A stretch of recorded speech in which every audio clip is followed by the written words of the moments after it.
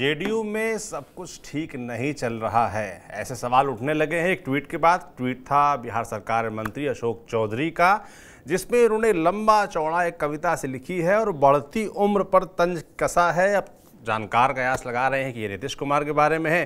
नीतीश कुमार ने अशोक चौधरी को मिलने के लिए बुला लिया। मिलकर लौटे, करीब डेढ़ घंटे मुलाकात हुई और मिलकर जब लौटे तो अशोक चौधरी नीतीश कुमार को अपना मानस पिता बता रहे थे। सब कुछ बदल गया अचानक से। लंबा चौड़ा ट्वीट है तो क्या चल रहा है? पर्दे के पीछे नीतीश कुमार से क्या बातचीत हुई? अशोक चौधरी के मन में क्या चल रहा है? क्या खटपट चल रही है जेडीयू में? विस्तार से आज बात करेंगे और बात करने के लिए हमारे साथ होंगे हमारे वरिष्ठ साथी पंकज जी। पंकज जी पहले तो मुझे लगता है जो लंबा चौड़ा ट्वीट है वो एक बार लोगों को बता दें जिसकी बड़ी चर्चा हो रही है अशोक चौधरी की। इसमें इन्होंने लिखा है एक दो बार समझाने से यदि कोई नहीं समझ रहा है तो सामने वाले को समझाना छोड़ दीजिए। बच्चे बड़े होने पर वो खुद के निर्णय लेने लगे तो उनके पीछे लगना छोड़ दीजिए। गिने चुने लोगों से अपने विचार मिलते हैं, यदि एक दो से नहीं मिलते तो उन्हें छोड़ दीजिए। एक उम्र के बाद कोई आपको ना पूछे या कोई पीठ पीछे आपके बारे में गलत कह रहा है तो दिल पर लेना छोड़ दीजिए। अपने हाथ कुछ नहीं, ये अनुभव आने पर भविष्य की चिंता छोड़ दीजिए। यदि इच्छा और क्षमता में बहुत फ़र्क पड़ रहा है तो खुद से अपेक्षा करना छोड़ दीजिए। हर किसी का पद, कद, मद सब अलग है, इसलिए तुलना करना छोड़ दीजिए। बढ़ती उम्र में जीवन का आनंद लीजिए। रोज जमा खर्च की चिंता करना छोड़ दीजिए। उम्मीदें होंगी तो सदमे भी बहुत होंगे। यदि सुकून से रहना है तो उम्मीदें करना छोड़ दीजिए। ये लंबा चौड़ा ट्वीट है। अशोक चौधरी का जो बड़ा चर्चा का विषय बना हुआ है उसके बाद उनकी नीतीश कुमार से मुलाकात और फिर भावनाएँ पलट जाना। क्या चल रहा है जेडीयू पंकज जी? जेडीयू में बहुत कुछ चल रहा है। जेडीयू में इतना कुछ चल रहा है कि आप ये समझ लीजिए जो दरअसल जेडीयू में जितने बड़े नेता हैं वो अपने भविष्य को लेकर के बहुत चिंतित हैं। हकीकत ये जी। और भविष्य को लेकर के चिंतित हैं और वर्तमान को लेकर के भी चिंतित हैं। वर्तमान को लेकर के इसलिए चिंतित हैं क्योंकि नीतीश कुमार वो पुराने वाले नीतीश कुमार नहीं है। ये बात आप जान लीजिए। नीतीश कुमार अगर पुराने वाले नीतीश कुमार होते तो नीतीश कुमार यात्रा पर निकल गए होते। आप याद करिए हर चुनाव से पहले वो यात्रा करते रहे। जी। यही एक ऐसा चुनाव है इस पाँच साल में नीतीश कुमार की यात्रा के बारे में आप सुने नहीं हुई ऐसा क्यों हो रहा है? इसकी वजहें हैं। नीतीश कुमार स्वस्थ नहीं है। और स्वस्थ नहीं है तो फिर ये जान लीजिए कि कई सारे लोग जो उनके इर्द गिर्द हैं वो कहीं ना कहीं वो भी अस्वस्थ हो गए। क्योंकि उनकी गाड़ी तो चल रही थी नीतीश कुमार के नाम पर। जी। अब उनको लग रहा है कि नीतीश कुमार किसी और को ज़्यादा वैल्यू दे दे रहे हैं तो इससे उनको दिक्कत हो जा रही है। अब समझिए कि अशोक चौधरी कभी नीतीश कुमार के साथ गलवैया करते देखे जाते थे। वो नीति नीतीश कुमार अशोक चौधरी के फोरहेड पे चंदन लगाते हुए देखे जाते थे। कहा जाता था अशोक चौधरी का इस्तेमाल करके नीतीश कुमार ललन सिंह को सेट कर रहे हैं।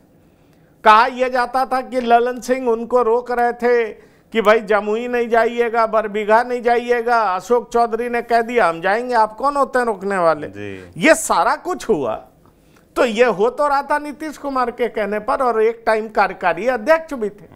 तो आप समझिए बहुत पावरफुल थे।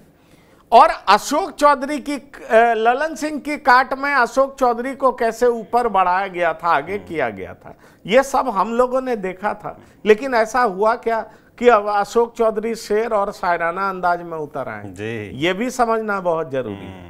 तो एक चीज़ मैं आपको कह दूँ ऐसे मैंने आपको कुछ एक सप्ताह पहले ही करीब आपके साथ मैंने एक शो किया था और बताया था कि किस तरीके से जेडीयू में गैंग बना हुआ है। जी। और जेडीयू में किस तरीके से गुटबाजी हो रहा है? सोचिए ललन सिंह और अशोक चौधरी दोस्त हो गए जो कि एक दूसरे को देखना पसंद नहीं करते अब ऐसा वक्त बदला कि ललन सिंह और अशोक चौधरी दोस्त हो गए और विजय चौधरी अशोक चौधरी के पीछे पड़ गए। ये ये ये इंटरनल डायनामिक्स है। जी।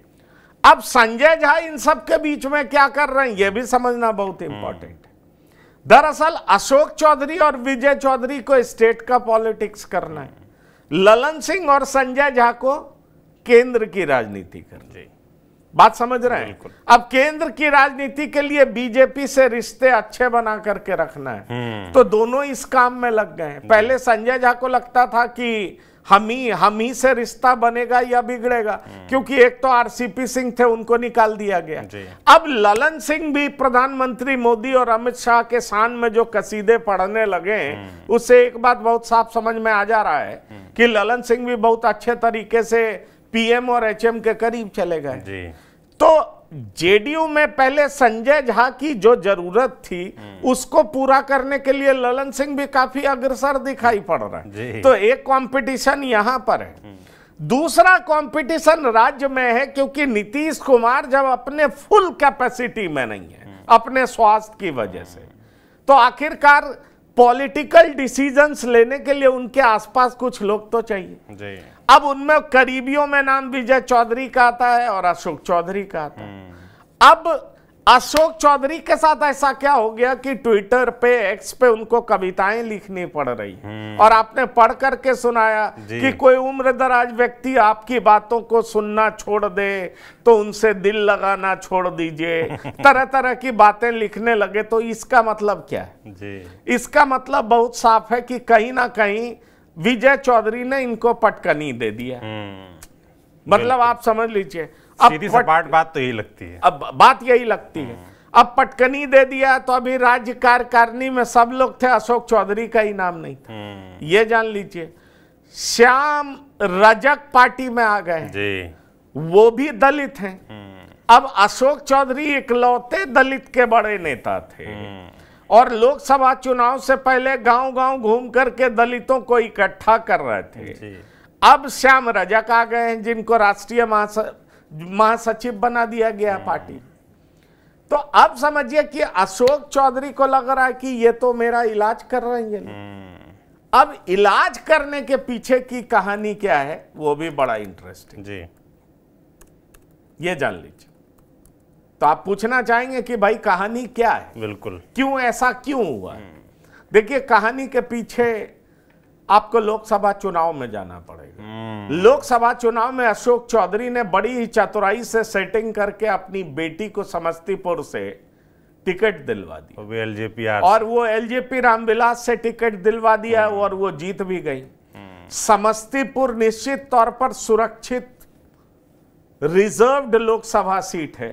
लेकिन वो इलाका तो विजय चौधरी का है ना। जी। अब विजय चौधरी के इलाके में अशोक चौधरी की बेटी घुस जाए ये विजय चौधरी को कैसे पसंद हो? हम्म, तो अशोक चौधरी ने पहले पूरी प्लानिंग की कि महेश्वर हजारी को पार्टी से निकाला जाए क्योंकि महेश्वर हजारी भी जेडीयू में मंत्री हैं। और उनके बेटे सन्नी हजारी अशोक चौधरी की बेटी के खिलाफ मैदान में थे।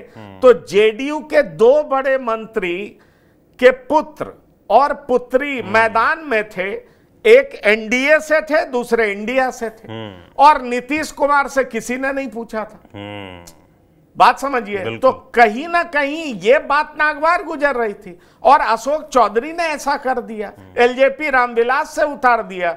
जो पार्टी परिवारवाद का विरोध करती है इकलौता ऐसा क्षेत्रीय दल है जिसके नेता पर परिवारवाद का आरोप नहीं है। लेकिन उसके दो बड़े मंत्री अपने बच्चे को मैदान में उतार रहे हैं। वो एक अशोक चौधरी हैं दूसरे महेश्वर हजारी हैं। अब सोचिए अशोक चौधरी सोच रहे थे कि मेरी बेटी तो एनडीए से लड़ी है। हम्म, तो मेरी बेटी ने जेडीयू का विरोध तो किया नहीं। हम्म, और महेश्वर हजारी अपने बेटे को जिताने के लिए समस्तीपुर में कैंप किए हुए थे। एनडीए के विरोध में काम कर रहे थे। तो अशोक चौधरी को लग रहा था कि निश्चित तौर पर मेरी अ, बेटी के खिलाफ काम किया एनडीए के खिलाफ काम किया इसलिए महेश्वर हजारी को पार्टी से निकलवा देंगे। हम्म, पर ऐसा हो नहीं सका। नहीं। हम्म, क्योंकि महेश्वर हजारी के पीछे खड़े हो गए विजय चौधरी। हम्म, और विजय चौधरी इसलिए खड़े हो गए क्योंकि विजय चौधरी को लगा कि इलाका तो मेरा है। हम्म, मैं सराय रंजन से जीतता हूँ लेकिन सबको पता है कि समस्तीपुर ज़िले में डीएम एसपी सीओ एसडीएम कोई भी आएगा तो वो मेरी मर्ज़ी से आएगा। तो इसमें अशोक चौधरी की बेटी का दखल हो गया मतलब अशोक चौधरी का दखल हो गया। बिल्कुल। तो मेरे इलाके में अशोक चौधरी का दखल इसलिए क्यों नहीं अशोक चौधरी का काम लगा दिया जाए? तो अशोक चौधरी का काम लग गया इसलिए अशोक चौधरी कवि बन गए। ये इंटरेस्टिंग जी।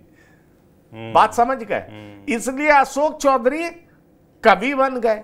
और दूसरा अशोक चौधरी की भावनाएँ जो दिल में दफन थी वो बाहर इसलिए आने लगी क्योंकि श्याम रजक बुला दिए गए। जी। तो श्याम रजक बुला दिए गए उनको इंपॉर्टेंट ज़िम्मेदारी दे दी गई।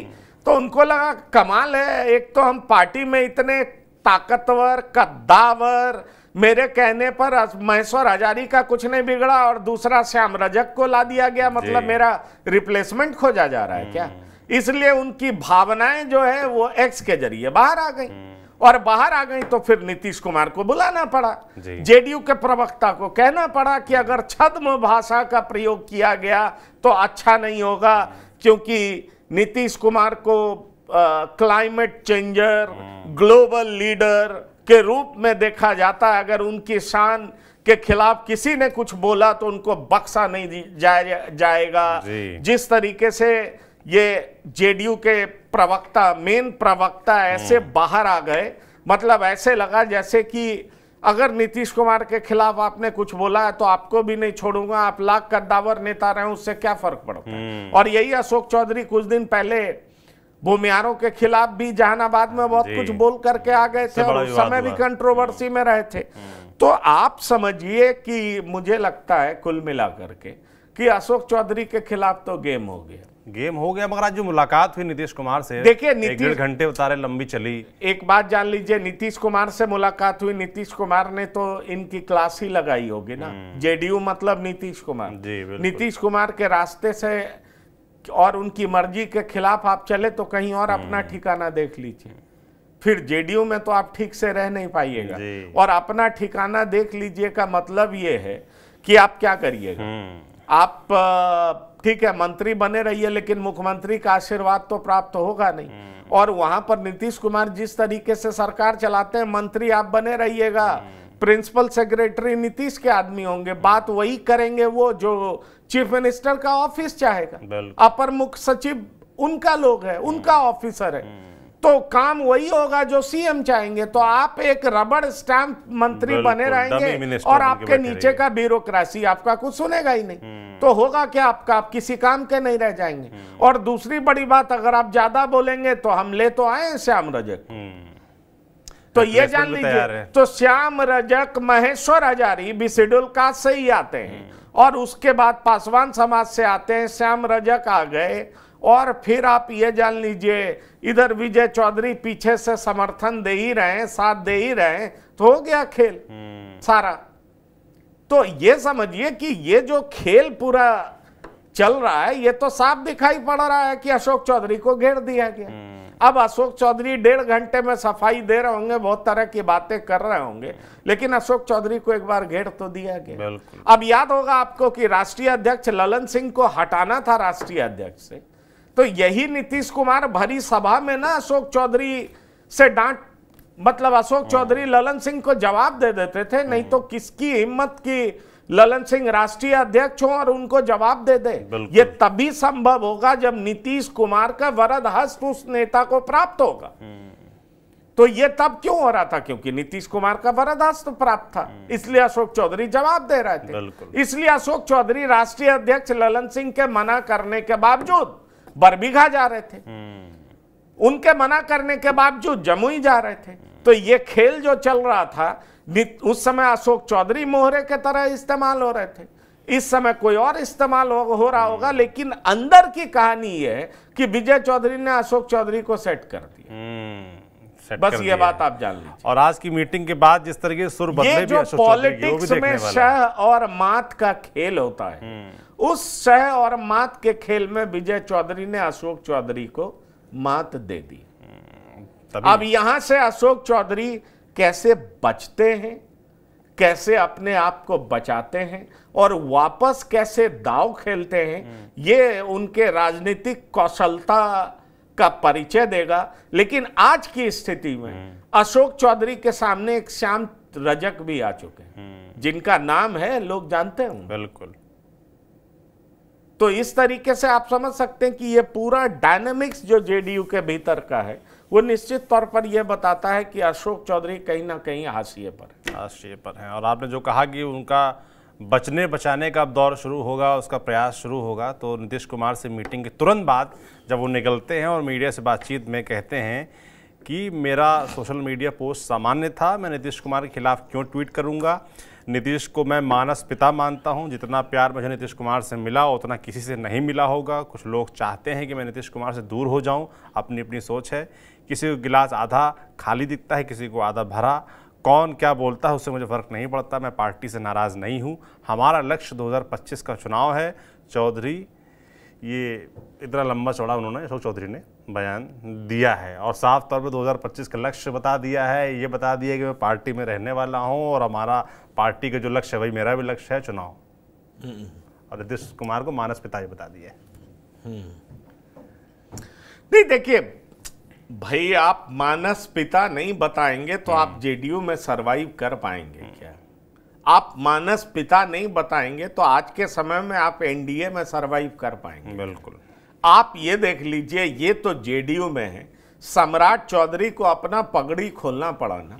उनको अपना सिर मुड़वाना पड़ा ना। सम्राट चौधरी से अध्यक्ष पद ले लिया गया ना। सम्राट चौधरी अब एक उप मुख्यमंत्री है क्योंकि नीतीश कुमार की ज़रूरत केंद्र में और नीतीश कुमार की ज़रूरत राज्य में भी। नीतीश कुमार इकलौते ऐसे लीडर हैं। फ़र्ज़ करिए अगर यही इंडिया गठबंधन नीतीश कुमार को अपने साथ जोड़े रखने में कामयाब होती। तो क्या स्थिति होती? जी। बिहार की प्रदेश इकाई तो कोई नीतीश कुमार जो बीजेपी की इकाई है वो तो नीतीश कुमार को साथ लेना नहीं चाहती थी। लेकिन केंद्र को समझ में आ चुका था उसका जो फीडबैक सिस्टम था वो केंद्र को बचा बता चुका था कि नीतीश कुमार के बगैर आपकी स्थिति अच्छी होने नहीं जा रही है। बिल्कुल। और नीतीश कुमार फिर आ गए एनडीए में क्योंकि इंडिया गठबंधन में उनको तवज्जो नहीं मिल रहा था।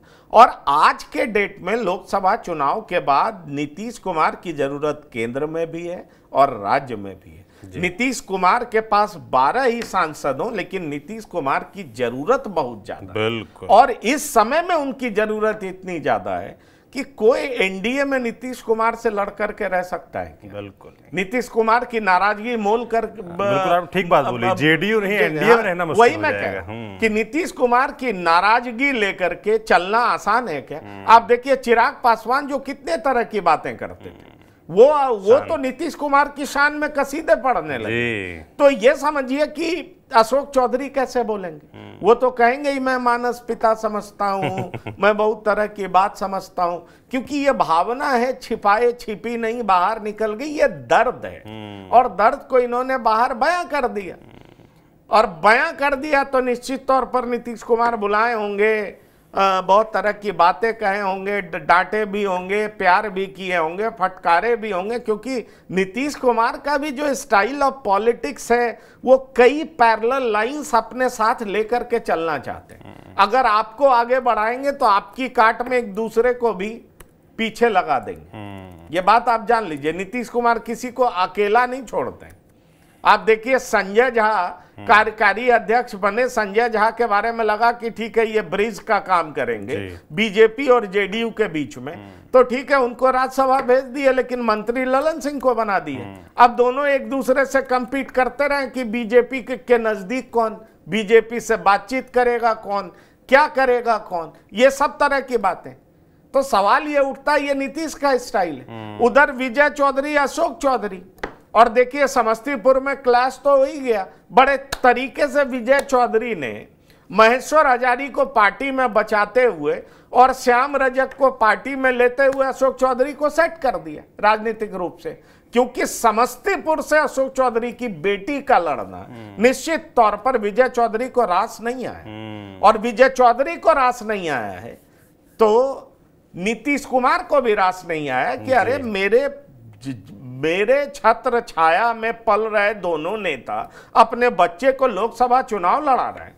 और उसमें उनको लगा कि अशोक चौधरी मेरे ज़्यादा करीब थे, अशोक चौधरी ने ऐसे कैसे कर दिया तो ये समझिए, दरअसल ये लड़ाई विजय चौधरी वर्सेज अशोक चौधरी। जिसमें विजय चौधरी हार गए अभी नहीं जीत अभी गए अभी इसमें आज की भारी दिख रहे हैं। भारी दिख रहे हैं जी। देखिए राजनीति बड़ी लंबी खेल होती है। बिल्कुल, बिल्कुल। और इसलिए आगे देखिए होता है क्या आगे आगे देखते रहिए क्योंकि ये ऐसा कई बार हुआ है। अशोक चौधरी को डाउन किया गया है फिर अशोक चौधरी ऊपर उठते हैं, फिर इम्पोर्टेंट दिखने लगते हैं पावरफुल दिखने लगते हैं। ये खेल चलता रहता है, ये राजनीतिक खेल। बिल्कुल, ये राजनीतिक खेल है, ये बिहार है और ये बिहार की राजनीति है जो चलती रहेगी। अशोक चौधरी फ़िलहाल कहीं ना कहीं मंझार में फंसे नज़र आ रहे हैं, मगर जैसा कि पंकज जी ने कहा कि राजनीति में कभी भी पासा पलट सकता है तो पलटता है कि नहीं? बाकी आपके क्या विचार हैं इस पूरी गुणा गणित के बारे में जो चल रहा है बिहार में, जेडीयू में? हमें कमेंट बॉक्स में लिखकर ज़रूर बताइए देखते रहिए टीवी नाइन डिजिटल। शुक्रिया।